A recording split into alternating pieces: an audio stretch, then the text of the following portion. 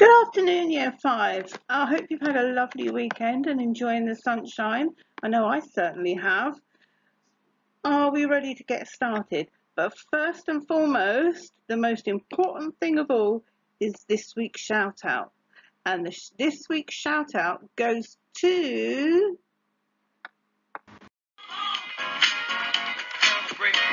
Grace, Mania, Heward, Eric, Race, Anastasia, Jalal, Diana, Racer, Ayub. Well done, everybody. Fantastic work coming in. I'm so impressed. So let's just have a quick look at some of the work that's been sent in. I just don't know what to say. I'm astounded. The quality of the work is absolutely brilliant. Well done to everybody in year five that's been doing all of your science work.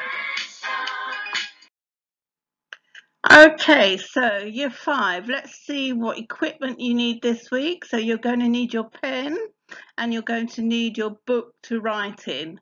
Make sure you have that in front of you. Okay, are we ready to start? So today is Tuesday the 16th of June 2020 and your learning intention is to recap reversible and irreversible changes. It's going to be a bit different this week because you're going to have some interactive um, activities to do online. So your success criteria is that you are going to be able to confidently talk about reversible and irreversible changes by the end of the lesson. So your task today is a little bit different. You are going to go onto the Bitesize website. It's there on the screen, or alternatively, you can go to the Grange website and click online learning and your link and your instructions will be there. So you need to read through the lesson. There are three interactive activities for you to complete.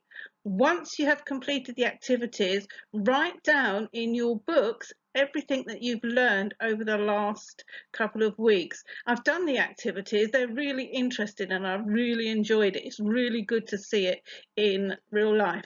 So send your completed work to year five at grange.harrow.school.uk. I look forward to uh, seeing it.